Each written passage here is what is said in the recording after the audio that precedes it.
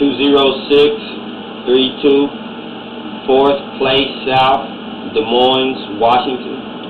Sewer scope from removed toilet and main bath.